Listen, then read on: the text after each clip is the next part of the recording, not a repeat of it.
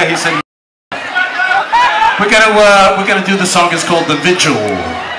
It starts with on the guitars.